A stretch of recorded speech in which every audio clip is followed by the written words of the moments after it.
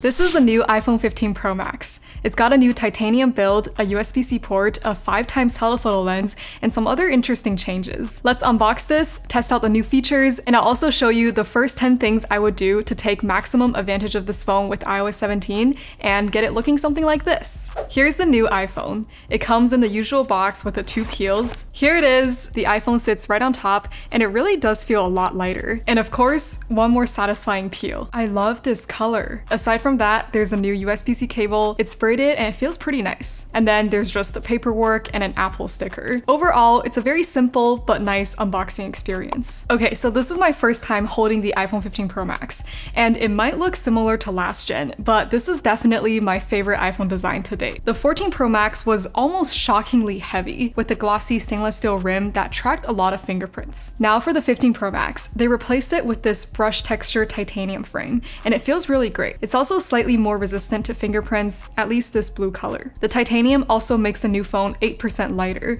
which doesn't sound like much, but it's very noticeable, and I do think it significantly improves the experience of holding and using this phone. The last small complaint that I had about last gen was just how sharp the edges were, but now they've introduced a rounder curve. The difference is small though, so it won't matter if you use a case, but it's a nice refinement nonetheless. Another kind of surprising thing is that the 15 Pro Max is actually slightly smaller than last gen. The screen size is exactly the same at 6.7 inches, but the screen bezels are noticeably thinner. I think it looks great, and it's still about the same thickness as last gen, but there actually is a slightly bigger battery. It's now 4,422 milliamp hours, and with the new A17 Pro chip, which is made with the new 3 nanometer process, it could last quite a bit longer, but I will test this out more in the full review. And this new chip is indeed insanely fast, especially the new GPU is around 20% faster. The single core performance is also significantly improved at around 11% faster than the A16 chip, and the multi-core performance sees a more modest 7% improvement. Now, this is definitely the fastest mobile CPU right now,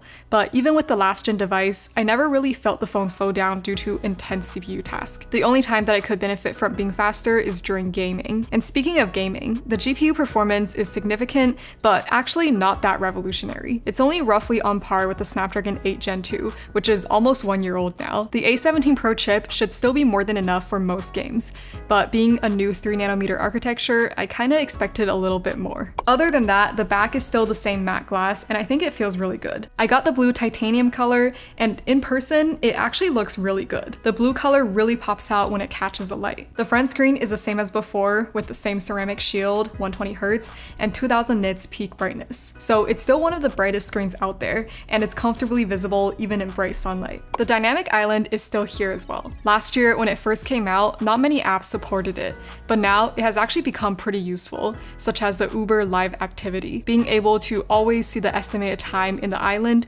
is really helpful. And now that Apple has brought it to the non-pro iPhone 15s, there's even more reason for apps to make use of it now. So hopefully it'll become even more useful, and it's probably going to be here for a long time to come. Besides the overall shape, there are some other pretty major changes too, such as the action button and the USB-C port. So finally, the iPhone can be charged with the same cable as everything else. But unfortunately, it still doesn't charge any faster than before. Being able to fast charge can sometimes be helpful, but I actually charge with MagSafe most of the time, which also isn't any faster. And now with the new standby mode, there's more reason than ever to use one of these MagSafe stands. Also, the USB-C port can now deliver power to other devices.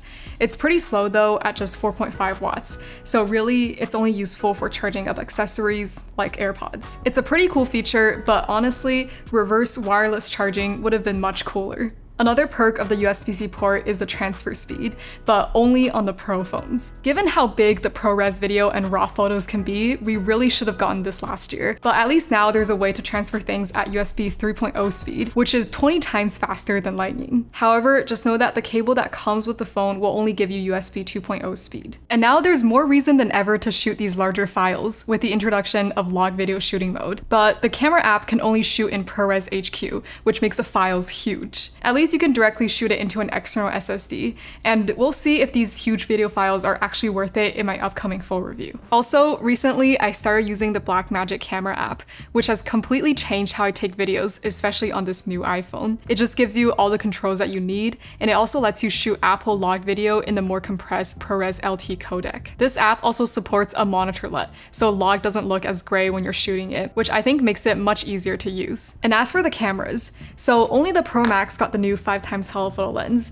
and that's quite a bit more reach. But now there's kind of a gap in coverage. The 3x and 4x look noticeably worse. I do really like the 5x 120mm perspective for portrait shots. And now you don't even have to decide between a regular photo or portrait because it saves all the depth information, so you can always add the portrait effect later in post, and even change the focus area. This is really cool. The ultra wide looks about the same quality, and same with the selfie camera, which is a shame because even last year, I felt that it was noticeably behind its Samsung competition. And the main lens is 48 megapixels just like last year, but now you can have a 24 megapixel image by default, and it does look better than last gen's 12 megapixel image while only being about 1.5 times bigger. This is much better than a Pro RAW file, which can be 30 times bigger. But actually now in iOS 17, there's a way to shoot 48 megapixel non-RAW photos.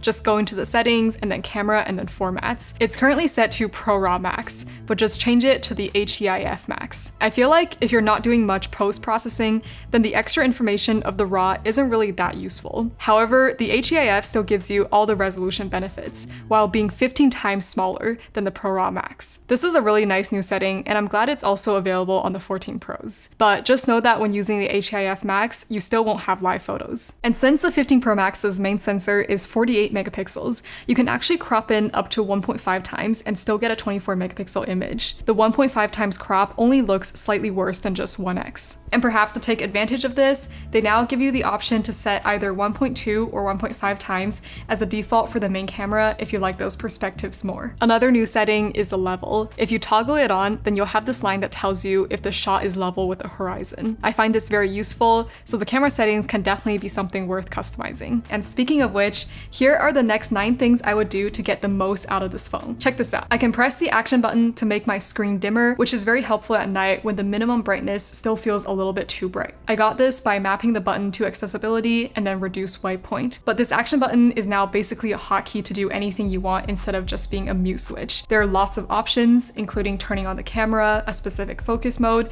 and it can also run any shortcut, so lots of possibilities there. Also, there's now this small icon right next to the time that indicates silent mode being on, so you can still very quickly tell whether you're on ring or silent. Now, if you want more than one shortcut, you can still use the back tap feature that's always been there. It's found under the accessibility settings, and just like the action button, you can map things for the double and triple tapping. It has a lot of the same shortcuts as the action button, like turning on the camera, the flashlight, or even running a specific shortcut. I find that they respond very well even with the case on, although it's not 100% reliable, unlike the new action button. And specifically, if you want a shortcut for opening up an app, it might be easier to just add it as a lock screen widget. The app Widgy can do this, and right now I have this YouTube icon that directly takes me to the app. It's very fast and there are no redirects. And how you set it is in Widgy, you go to the Explore tab and then go under Lock. Find the app launcher that you want and then import it. Then go to Manage and add the import widget there, and that's it. Now you can add it to your lock screen. And other great widgets to add to the lock screen are the first party weather and battery ones. They give great info just at a glance, and everything is still very readable even on the AOD. Interactive widgets are also super useful.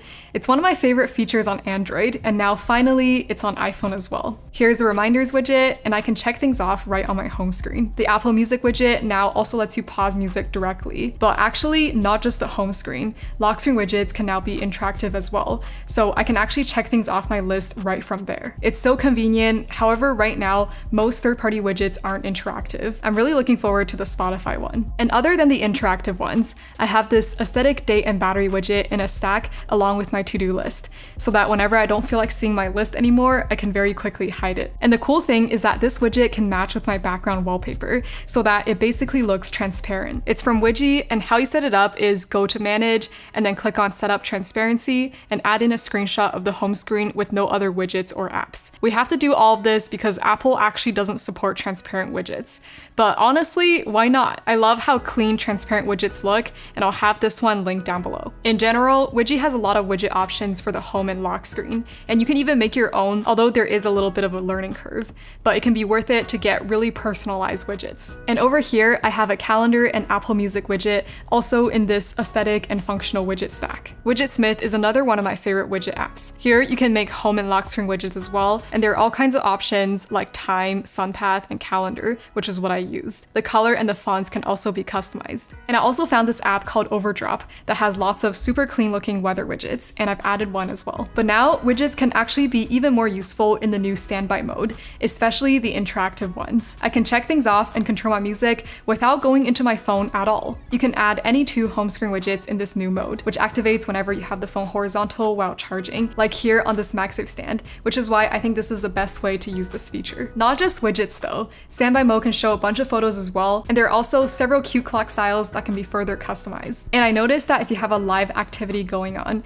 you can actually click on that to pull it up as this really big full screen widget. And here's something that almost never happens. Apple bringing back a remove feature. The live wallpaper is back from the dead. Now, when you set a live photo as a wallpaper, it can automatically play in slow motion every time you wake the phone. My dog looks hilarious in this. Of course, you can further customize the font and color of the time. You can also have more than one lock screen. And here are some new wallpapers in iOS 17 that you might not have noticed. Every planet in the solar system is now here, and I've replaced the Earth that I've always used. A bonus is that the swipe animation between each planet looks super cool, and there's the entire solar system at the end. Remember last year when they introduced the PNG cutouts? I thought they looked like stickers and now they really doubled down on it. You can make the cutout into a sticker and then you can access it in the emoji keyboard. But not just that, you can give it effects like this sparkly one and there's even this shifting effect to mimic interacting with the lights. I find these super fun, especially in iMessage where they can be stuck anywhere just like a real sticker. If you've ever tried to airdrop in a more crowded space,